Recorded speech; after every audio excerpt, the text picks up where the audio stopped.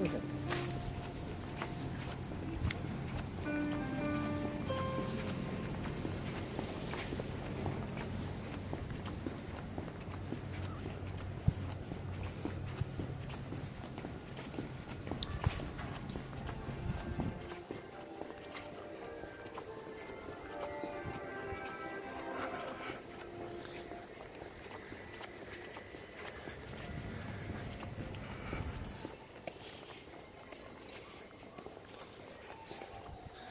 So many cool little restaurants and shops.